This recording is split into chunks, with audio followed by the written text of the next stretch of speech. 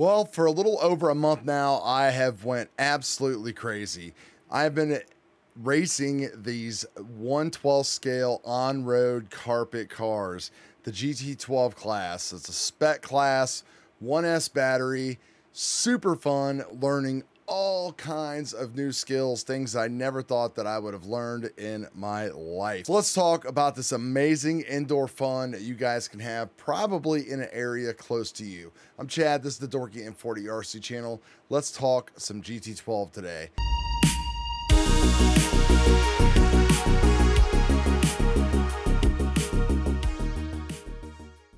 Welcome back to the channel, everybody. It has been a very long time, but I promise you there's going to be a lot coming up, especially when it comes to these little babies right here. So what are we talking about? We're talking about carpet racing indoor, as you can see. Fast, 10, 11 second laps. Some people pull a nine second, nine and a half second laps. And this is just running a spec motor type of class.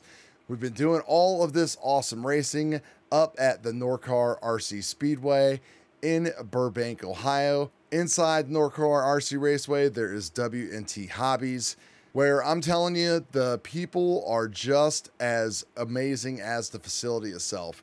I cannot highly enough recommend for anybody in this area, Ohio, Michigan, Pennsylvania, Indiana, wherever, if you are interested in getting into indoor carpet on road or even oval racing, this is the place to come and spend a little bit of time. They can serve all of your needs, and let me tell you, they have been nothing but amazing to me. The people that work there, Big shout out to Wayne and Freddie and Travis. The facilities are just super amazing, super clean, as you can see from the videos here.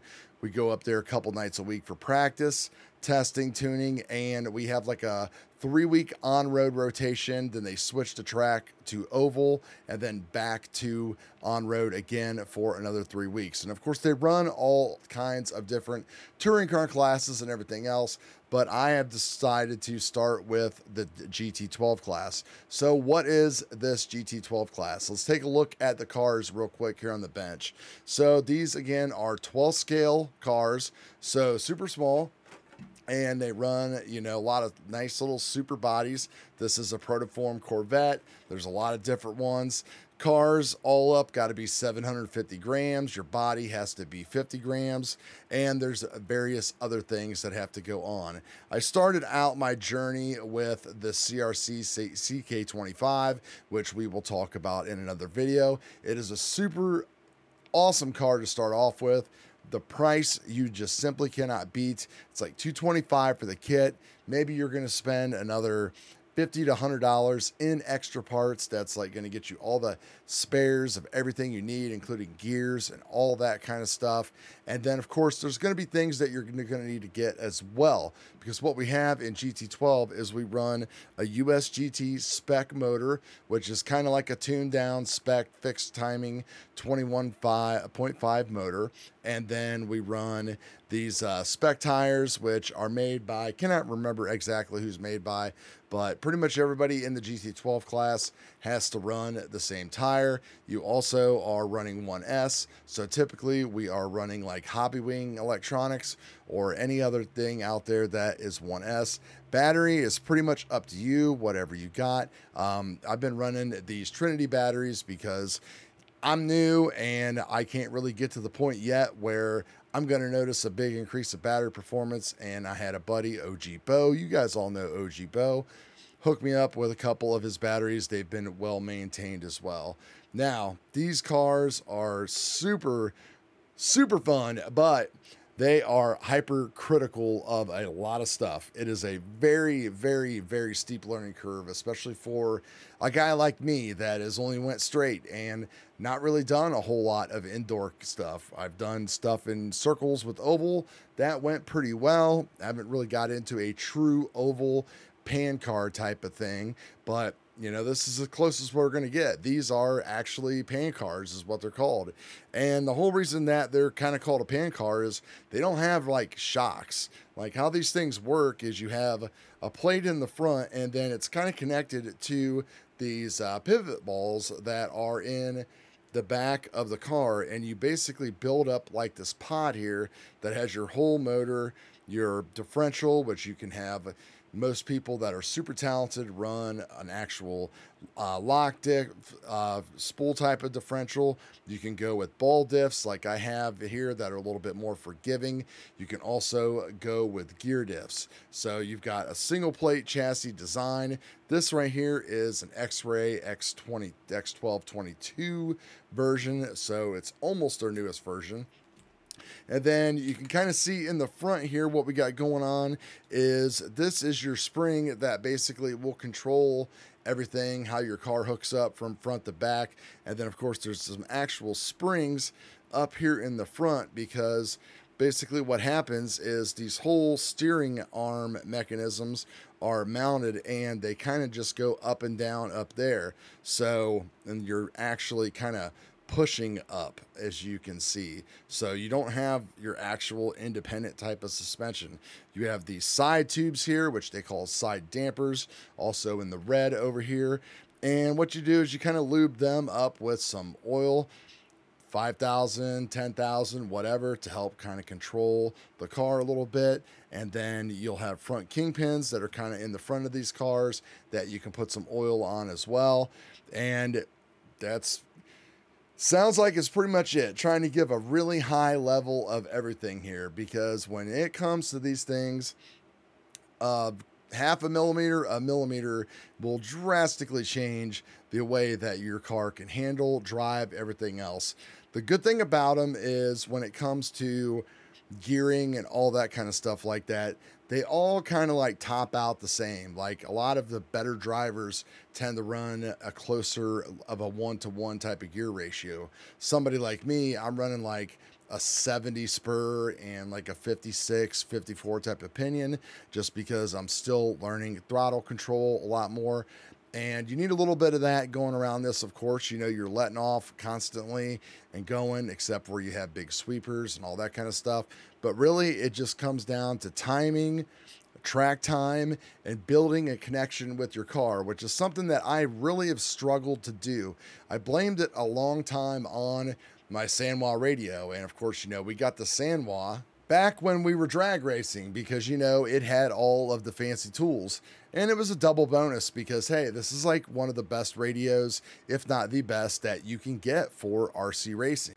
The problem is though is that this thing is fast. The communication to the radio and the servos is like ultra fast. The good thing about it is that you can actually add latency into this radio, which is a good thing for me by turning down your fielding settings. So I'm using things in the Sanwa that I never ever thought I would actually do. But recently I kind of had a little brainstorm and I saw a YouTube video of a guy kind of speaking about the same issues that he had um, I, that I was having. He was having a hard time connecting with his car and his M17. And really, it came down to just more of some mechanical things. Um, we could talk about it in, in a later video, but I think it's important to success about this is having the right controller and control feel that will help you build your connection with your car. It's more about like gearing, slowing it down, but you got to be able to hit your lines in this stuff. Every time you tap a wall or a side of something, you're losing like a tenth. And you know, you really need to like not do that. If you tap a wall, obviously five times in a lap, well, there's a half second off your lap. So what I actually did was flip this thing completely where now I have a normal soft spring on my trigger, but I have the super hard spring on my steering wheel. So that way it takes out a lot of the nervousness and twitching that I was getting. And also it keeps me from what these guys like to say, ham fisting, where you're constantly rocking this thing back and forth to its limits, trying to get the car to turn when you really don't need to. But there's a lot of important things that go on in the radio, of course, you know, things like expo, dual rate, these cars, you really want to make sure on an on-road car that your car turns the same amount to the left as it does to the right. So, you know, there's different sub trims and of course your EPA limits and stuff that you're going to be setting up on your radio. ESC settings, you know, again, we're all pretty much running like the Hobbywing 1S. There's very few um, electronic companies that go in the 1S route, and you know they work just fantastic. Um, it's no timing or anything like that in the GT12 class, so you're actually able to, you know, use drag brake and everything. But we run this in a blinky mode, so there's no modifications to softening or any of those other extra little tools that are built inside of the Hobbywing itself. And then, of course, we all have like our transponders, and you know, you can run any kind of servo inside either of these cars. Some servos fit better in different cars than others, and things like that. We'll kind of get into that as we look, take a look a little bit closer at a car like this with the CRC, and then a car like the X Ray in some upcoming videos. But in this class, things like shims are your friend. You, you really, really have to make sure that things are perfectly built and things like your ride heights are equal on each side. Tires are trued to each side. Yes, we do cut down the tires a little bit. We also um, have found that just kind of like taking them off, putting them on the truers, sanding them, things like that in between runs has helped take some of the gunk off of it. Uh, they're, they're, it's basically kind of like no prep all over again because using cleaning the tires after a run, sanding the tires, and then putting prep on the tires for the run. The good thing is about them is, you know, they're going to usually hold up a little bit longer. Um, the better driver you are and the less you're banging into the walls, the more your tires are going to run. And, you know, you can see that I ran this set all day on Saturday, and typically I would have some chunks out of my tires and stuff from falling apart, but things just kind of clicked for me this past weekend, and I didn't have any tire chunking at all. And we'll talk about more about my results and all that kind of stuff in another video. But to sum it up, I was not good and I'm still not good but I was able to actually finally put together a consistent weekend where I was two to three laps off the pace instead of five, six, seven, and then kind of fluctuating throughout the day. All my times were kind of the same. So all I needed to do was just learn and focus on driving and do little changes to the car, make sure that my race program was solid. And that's really a key to these GT12s that I have found is, you know, you definitely need to make sure that things are just all ready to go between races. You know, you want to make sure that your gear mesh and your diff and everything is nice and free because if you bump a wall a little bit, the tolerances and spacing back here are so tight that it could basically push this diff together just enough to kind of lock everything up and keep it from rotating freely. Uh, gear mesh, these are super small gears, and my close up vision is not very good anymore. Um, and plus, it's just kind of like a learned thing that I have found out, but I am not very good at setting a gear mesh, and I can definitely admit that right now. I'm getting better, but these guys just kind of are like, oh, just hold this and move it and feel it. And you know, I end up looking uh, with my magnifiers at the mesh here, and it all looks the same to me. Mine looks the same as theirs, but for some reason, theirs spins super nice, and mine sometimes will sound crunchy and lock up.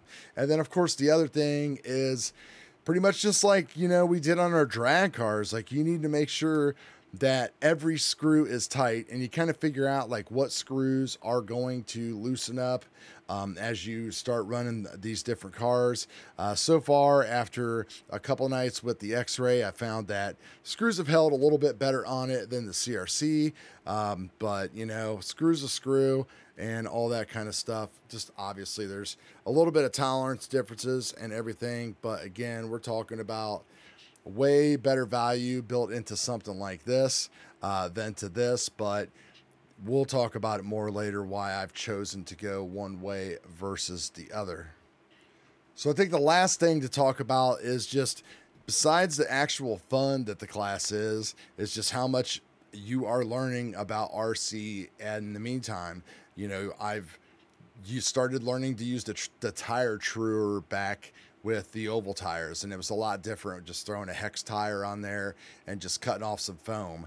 Um, this stuff is obviously requires a lot more of a finer detail because you're cutting rubber and you just can't honk off a bunch of rubber off these things. You have to skim these things really lightly and make sure everything is good that way.